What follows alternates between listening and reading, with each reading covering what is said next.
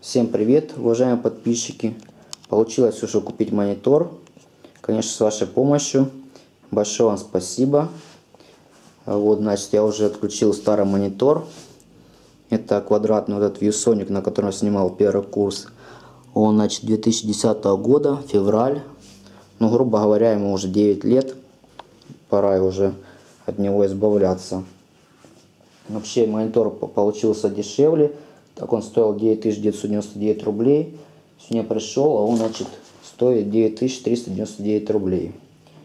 А, вот, что еще? Ну, сделал проверку ТВ набитые пиксели до 27 дюймов включительно. Так называется в чеке. Стоит удовольствие это 350 рублей.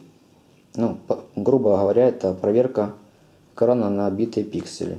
А то есть я дома его открыл, включил там битый пиксель, мне пришлось вернуть его обратно, мне бы, скорее всего, все это дело не обменяли, все это уехало в Москву. Ну, в общем, это бы заняло какое-то время. В общем, лучше не пожадничать, заплатить 350 рублей и проверить. Сейчас попробую его собрать. Он очень легко собирается. Но на самом деле у меня GoPro камеры нету. Поэтому я сейчас его соберу. Ну и покажу, как получилось все это.